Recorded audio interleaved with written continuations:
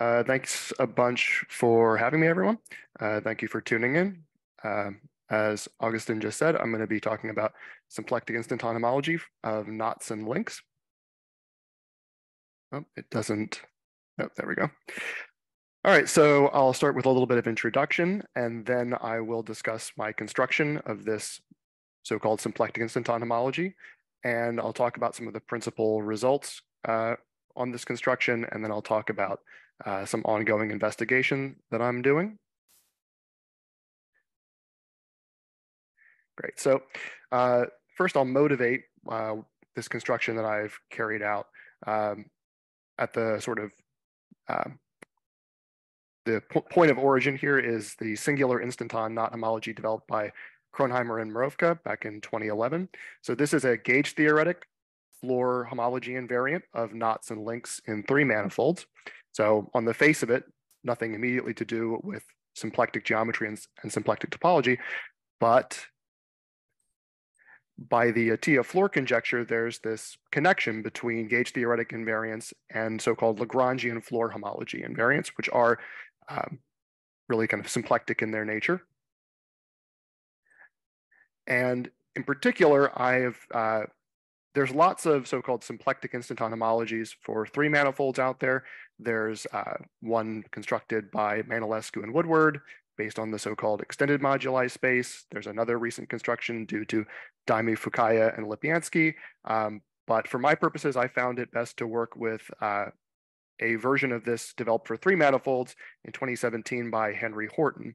And his, uh, his invariant proceeds through the so-called traceless SU2 character varieties of punctured surfaces. And I'm going to be doing the same thing.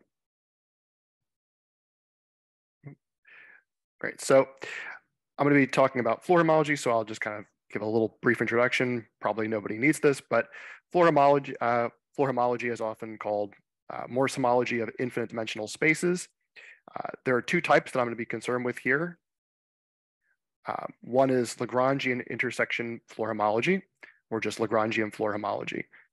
Here, we look at a space of, uh, really a covering space of paths between a pair of Lagrangian manifolds and some smooth symplectic manifold M.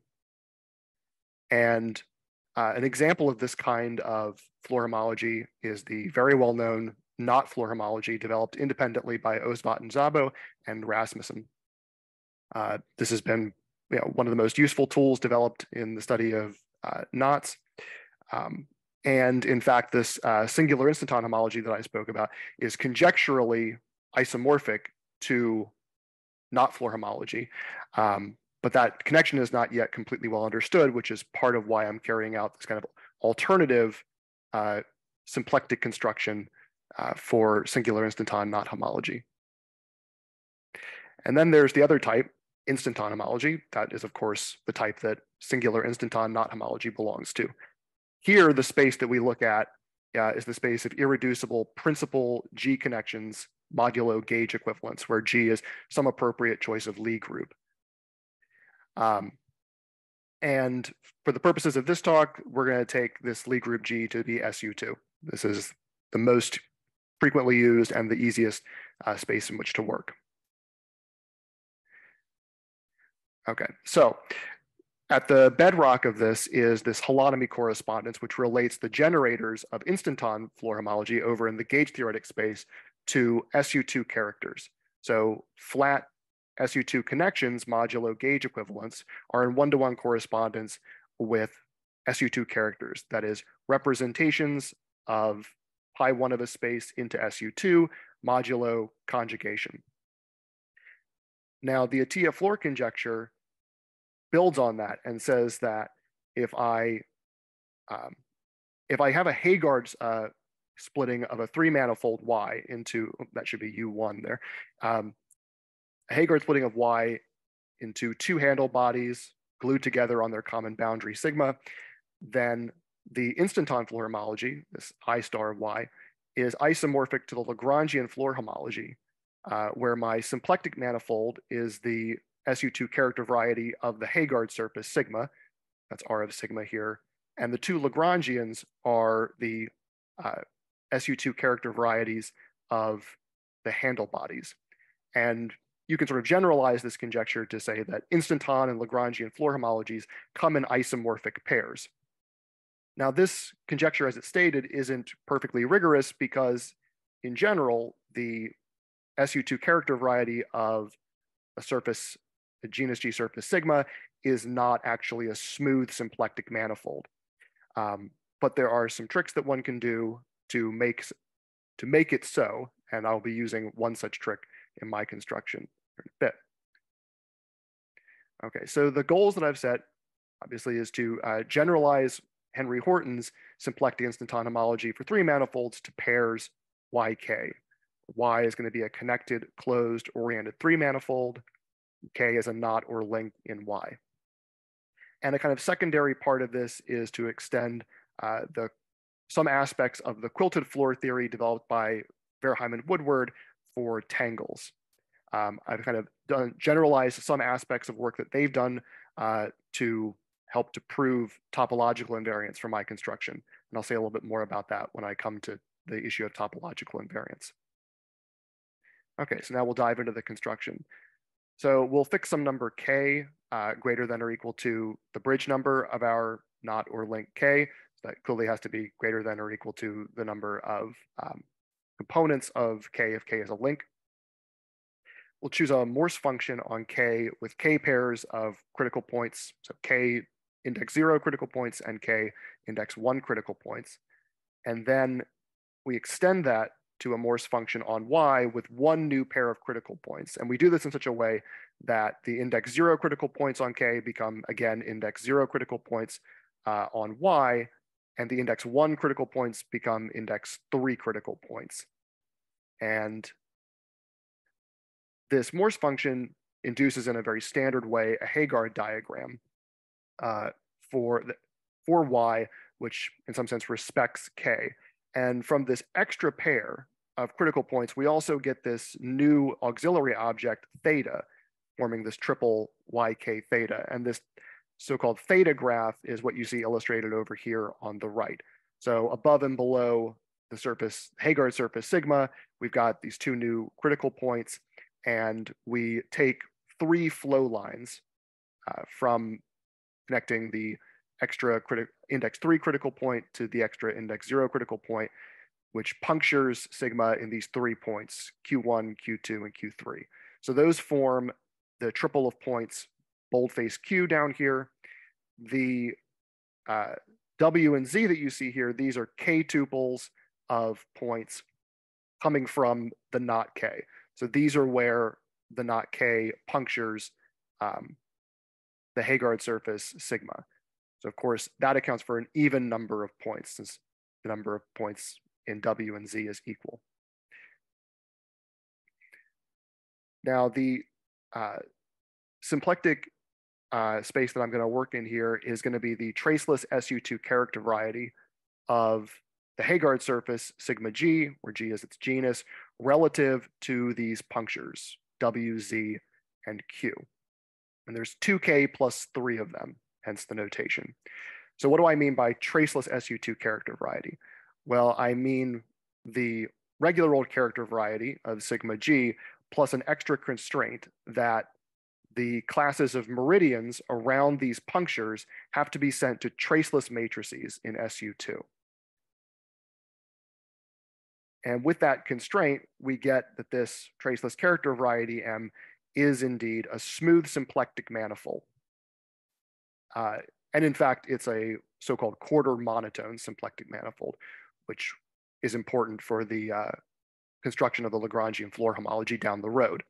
Uh, for now, I'll just point out that this uh, extra triple of points was important here because this is what makes this a, a, smooth manifold. In general, if you have an even number of punctures in the surface, then you don't necessarily have a smooth manifold. You have a stratified manifold, and only the top stratum uh, admits is a smooth manifold admitting a symplectic structure. Now, from the Heegaard diagram, we get these subvarieties, L alpha and L beta in M, uh, each of which is the result of sending the respective set of attaching curves to one in SU2. So we add another constraint to get these two subvarieties in M. And there's a few different results out there that one can use to deduce that these are embedded Lagrangians in M. Uh, I've listed two here, but in general, there's uh, it's sort of kind of well known now that under the right circumstances, if you have a, a tangle that is some uh, properly embedded one manifold in a three manifold, um, then the uh, the, the traceless character variety of the three manifold relative to that properly embedded one manifold embeds into the traceless character variety of the boundary relative to the points where the one manifold intersects the boundary. Okay, so now I'll get into the definitely over technical part of my uh, presentation here. Um, so I set up, uh, I defined the um, symplectic instanton knot homology for the uh, this Heegaard diagram in the first instance to be the uh, Lagrangian Floer homology of these two subvarieties, L alpha and L beta. And this is a well-defined uh, homology group with coefficients in Z. In general, you can do this uh, with coefficients in Z mod 2. To get coefficients in Z, you need orientations. In this case, that's fairly easy to get because it turns out that this L alpha, these two subvarieties, L alpha and L beta, are each diffeomorphic to uh, a Cartesian product made up of G factors of S3, that's kind of SU2 thought of as S3, and then K copies of S2, where K is that relative bridge number of the knot relative to this Heegaard splitting. And you can easily deduce from this that uh, these are, I mean, these are just, these products of spheres are spin manifolds. So in the traceless character variety, L alpha and L beta are relatively, a relatively spin pair. And by results of uh, um, O, you can show that that gives you a coherent system of orientations on the moduli spaces that define uh, Lagrangian Floer homology so that you get Z coefficients out of this. Um, and since these two are simply connected, they're automatically so-called monotone Lagrangians in our quarter monotone symplectic manifold. And from that, we can deduce their so-called minimal Maslov number. And this minimal Maslov number sort of controls um, the dimensions in which various degener degenerations can occur when we compute the differential of Lagrangian Floer homology. Right, so uh, there's a theorem of O that explains that when you have this particular setup, you have a pair of uh, connected compact monotone Lagrangians with minimal Maslov number greater than or equal to two, then the, um, the Lagrangian Floer homology will be well defined if the disk numbers of the two Lagrangians are equal. And the disk number sort of uh, is basically a count of sphere bubbles uh, that occur when you uh, compute the differential of the Lagrangian Floer homology. So the, my proof that the Lagrangian Floer homology here is well defined uh, basically proceeds as follows. We find some symplectomorphism in the traceless character variety that carries L alpha to L beta. And when you have that symplectomorphism, that gives you isomorphisms of the moduli spaces that count those disk bubbles.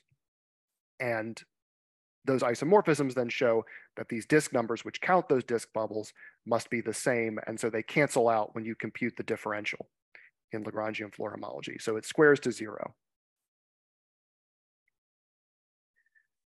Right, so that gives us a um, an invariant of a compatible Heegaard diagram, but not necessarily an invariant of the pair YK. Um, what we'd really like to know is that there's some canonical isomorphism relating the symplectic instanton homologies for these for two compatible multi-pointed Heegaard diagrams that we've established previously. So the way to do this is to start with the fact that any two uh, Heegaard diagrams of the type used here are related by a finite sequence of the following kinds of moves. Isotopies and handle slides of the attaching curves, and then two kinds of stabilization or destabilization. So an index 1-2 stabilization, that corresponds to changing the genus of the Heegaard splitting, basically taking the connected sum uh, of your Heegaard surface with a torus parameterized by two transverse curves, uh, alpha G1 and beta G1.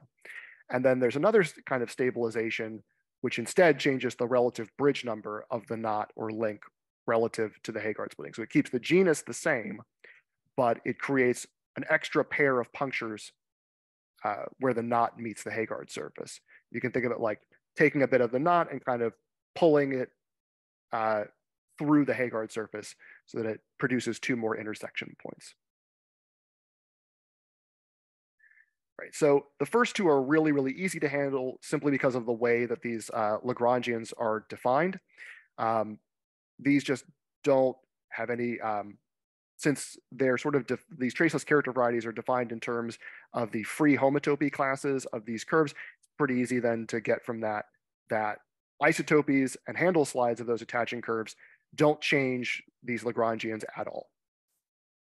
So in that case, the Lagrangian Floer homology is just completely unchanged. To show that we get a canonical isomorphism in the case of the two kinds of stabilization, we use Lagrange, um, we use quilted Floer homology, and in particular, the embedded composition theorem in quilted Floer homology to show that we get an isomorphism of those Lagrangian Floer homologies. And then some things that I'm currently looking at are, for one thing, uh, extending this to other Lie groups, Lie groups other than SU2. So the singular instanton knot homology uh, can be defined for other um, other compact Lie groups. In particular, it can be defined for um, simple, simply connected Lie groups, such as SUN. Um, so I'm looking at ways to extend that. Uh, probably probably the way to do this is to add, instead of having a uh, additional triple of points coming from that theta graph, you would want uh, n plus one extra strands. Uh, there is a canonical relative Z mod 2 grading on any Lagrangian Floer homology.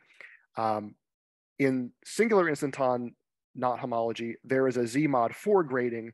I haven't been able yet to identify any kind of finer uh, Zmod 4 grading for this, uh, for my construction. But since we'd like this to be an isomorphic partner for singular instanton knot homology, I'd like to find some source of a Zmod 4 grading here. Uh, Horton, for his three manifold invariant, has he proves a surgery exact triangle, and that would be very useful to prove uh, with the addition of the knot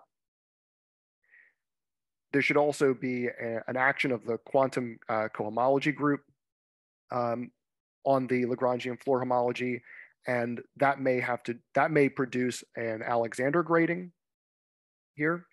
Um, one thing I didn't mention is that uh, singular instanton knot homology, along with uh, knot Floer homology, categorifies the Alexander polynomial of a knot, and so there should be an Alexander grading that can be uh, given to my construction.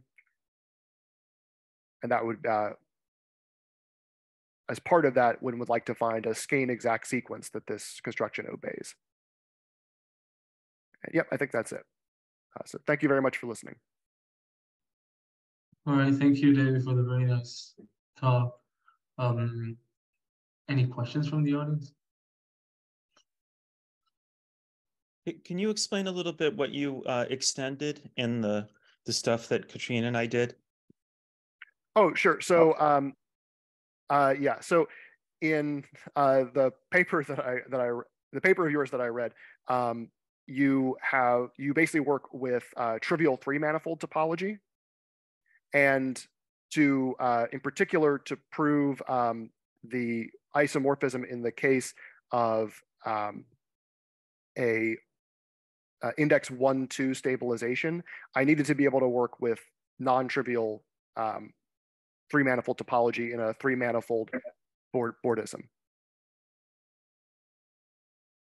So, so your construction works for uh, links in, in arbitrary three-dimensional cobordisms, is that right? And that's right. ours was just for, um, I don't even remember what ours was for, to be honest. Ours Right, was so for you- so- topological cobordisms. Yeah, so uh, your Yeah. work would work just fine if, if Yeah, uh, yeah. everything is in S3, basically. Oh, oh, okay.